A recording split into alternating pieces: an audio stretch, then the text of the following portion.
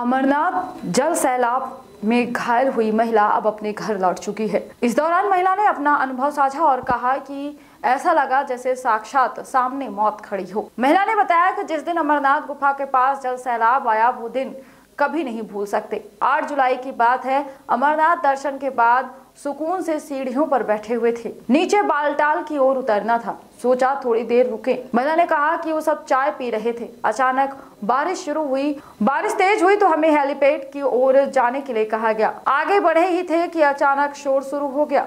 पाँच मिनट में ऐसा जल प्रलय आया कि सब बहा कर ले गया।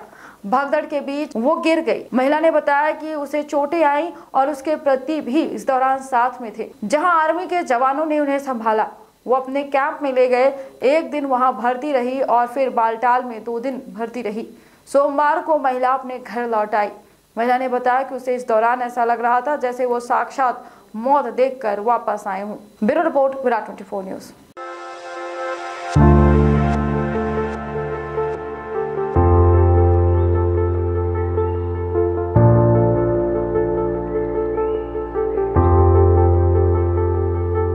सर्व सुविधा युक्त नेशनल हॉस्पिटल समान तिराहा रीवा में। अब कैंसर का सफल उपचार और ऑपरेशन की सुविधा उपलब्ध है। हमारे यहाँ मिल रहा है आयुष्मान भारत निरामय योजना का लाभ। आयुष्मान जन आरोग्य योजना के तहत सभी प्रकार के मेडिक्लेम की सुविधा उपलब्ध है।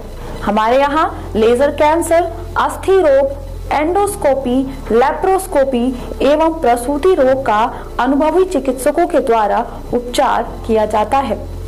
कैंसर के इलाज एवं ऑपरेशन अब रीवा के नेशनल अस्पताल में उपलब्ध है। नेशनल हॉस्पिटल के संचालक डॉक्टर अखिलेश पटेल के द्वारा उपलब्ध करवाई जा रही हैं सभी सुविधाएँ। आयुष्मान से संबंधित किसी भी प्रकार की जानकारी के लिए संपर्क करें। मोबाइल नंबर नौ छ नौ एक दो आठ आठ पाँच छ शून्य पर, या फिर संपर्क करें सात पाँच छ छ आठ तीन एक पाँच पाँच एक पर। हमारा पता है नेशनल हॉस्पिटल समान तिराहा रीवा। संपर्क करें शून्य सात छ छ दो तीन पाँच नौ नौ सात चार पर, या फिर संपर्क करें आठ छ शून्य दो आठ आठ पाँच नौ नौ शून्य पर।